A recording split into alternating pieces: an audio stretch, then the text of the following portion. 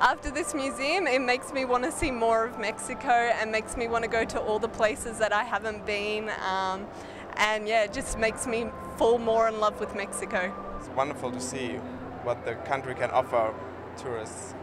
And it just, you have to see it. It's a really great experience to go here.